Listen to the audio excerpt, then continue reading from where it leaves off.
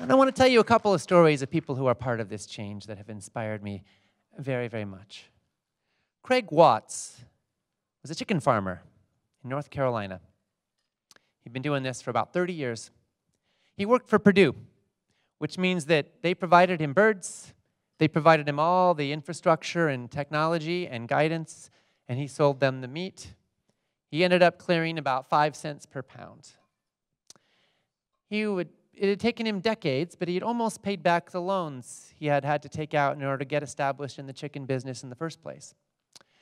His operation was typical. He was an award winning producer, and he had won a bunch of awards for Perdue. He was inspected weekly, and here's what he had to do 20,000 birds in one warehouse. Average bird had about one square foot. Their wingspan is three feet. They were bred to be morbidly obese. So these birds, by the time they were three months, it was the equivalent to if a human infant weighed about 600 pounds. They were so overweight they couldn't walk. So these birds would lie on the ground in feces. Not just their feces, but the feces of generations of birds before them, because the concrete that they stood on was covered in poop that went back and it was cleaned about every three years. There were no windows open, and by contract, he wasn't allowed to have any windows or any natural light or any fresh air because that could stimulate the birds to move more, which would drive down the feed conversion ratio. The animals were lying in poop and they would lose feathers, and then they would op- develop open sores, and about 5% of them died before they were killed. So when Craig would walk around his chicken barn, there would be littered dead bodies lying around. About 5% of the birds were dead. Most of them were immobile. And this was his award winning operation. But then one day, he sees Jim Perdue on television with an ad. And Jim Perdue is saying, We treat our chickens well, and they're happy, and they're healthy, and that makes good meat for you. And he says, What I'm doing might be cruel, but I am not a liar. And if I allow this man to speak for me, then I am lying. So he decided to tell the truth. So he did something very unusual. Mr. Craig Watts invited Compassion in World Farming to come on in with cameras rolling and film his award winning chicken operation and see what was actually going on there. This wasn't an undercover operation. This was a farmer opening the doors and saying, Come see what's really here. And he goes on this, this video and he says, I'm no psychologist, but I'll tell you what, these birds aren't happy. I'm not a vet, but I'll tell you something else they're not healthy. And he shows all that's going on. And this video goes up on YouTube and it goes crazy viral and millions of people see it. And he starts going on national TV. And uh, Craig didn't have a lot of education. He, there was nothing in his background that really prepared him for this, but he kind of stepped out. Perdue was not pleased. So they tried to fine him and they tried to make his life miserable. And he got out of the chicken industry. And now there's crops growing on his land, and he has become a consultant. He helps factory farmers transition to more sustainable and ethical career paths. Bless him.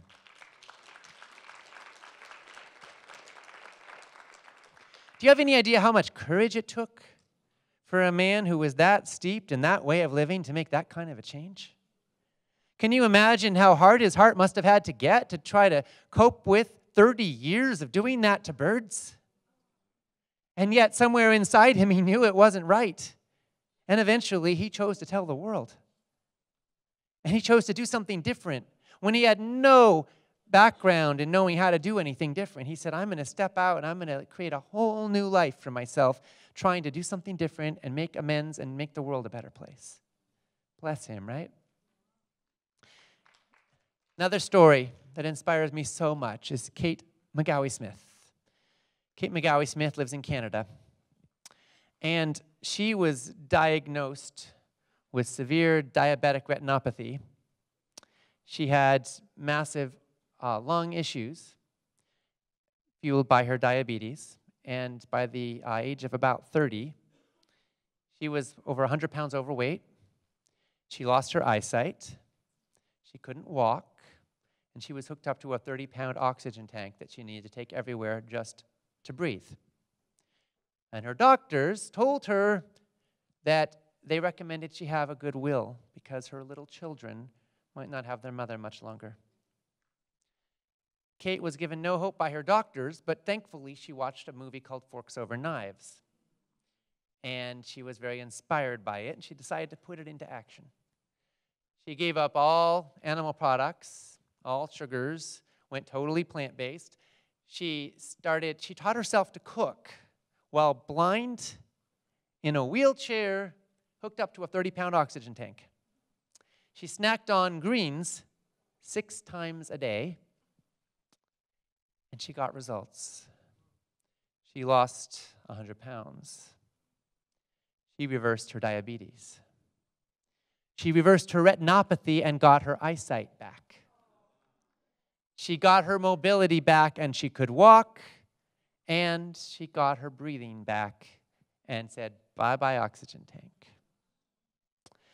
Kate doesn't have to be afraid now that her children are about to lose their mom. And she wanted to go further, so she started an organization called Fork Smart. She does nutritional coaching, sharing her story and helping inspire as many people as she possibly can to make these kinds of changes.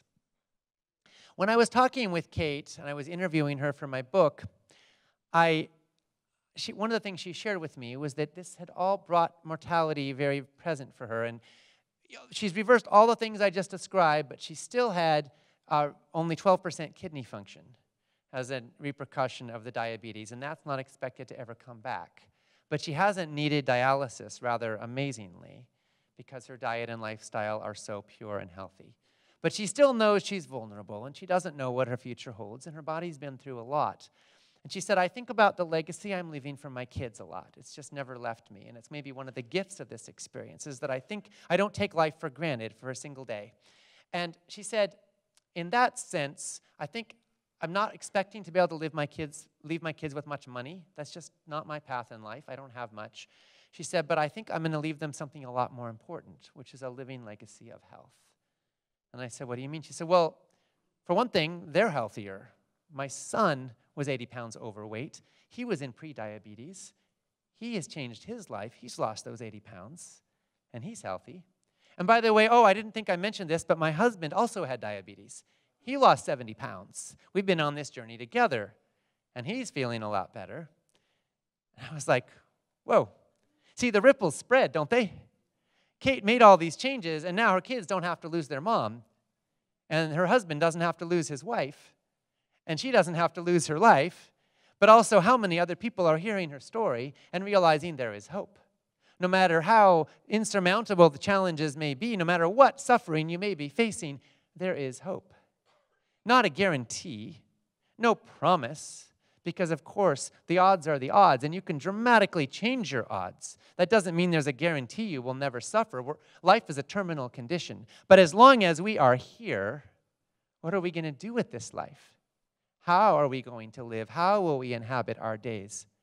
You know, some people say, oh, you plant based eaters, life doesn't get longer, it just seems like it. Because time flies when you're having fun. There's not a lot of fun to be had when you eat vegetables. And I say, oh, that's where you're wrong. Because, you know, a lot of people um, actually, their world gets so small when they're suffering and hurting that taste is one of the only sources of pleasure that's left. And even that starts to go. The average senior has only half the taste buds they did when they were a kid. However, when we choose to eat wholesome, healthy foods, our taste buds change. Our bodies change. We become more alive. We become more vibrant and dynamic and capable. We have less fatigue. We sleep better. We have more pleasure, more aliveness, and more joy. And that is a wonderful thing because I'm not just about adding years to life, I'm about adding life to years. I want us to thrive. I want us to love our lives. I don't know how long any of us will be here on this planet, but I want to make the most of every single day. George Bernard Shaw said it so beautifully. He said, This is the true joy in life to be used for a purpose recognized by yourself as a mighty one to be a force of nature instead of a feverish clod of ailments and grievances, complaining that the world will not devote itself to making you happy. He said, I'm a member of the community, and as a member, it's my privilege to do for it whatever I can before I die. Life is no brief candle to me. It is more of a splendid torch, which I want to burn as brightly as possible before handing it on to future generations. So I want to thank you for all the ways that you burn your candle or your torch, all the ways that you live and breathe and stand for a world that is worthy of our children and their aspirations and their dreams. I want to thank you for all the ways that you vote with your dollars, with your food choices, with your life, with your relationships for the kind of a world that you want, for the kind of health that you want. Step by step, one bite at a time, we are shifting the course of history. We are creating a demand for a new food economy that is based in health, and we are reclaiming our lives and our health and our world in the process. Thank you so much for your partnership in this revolution.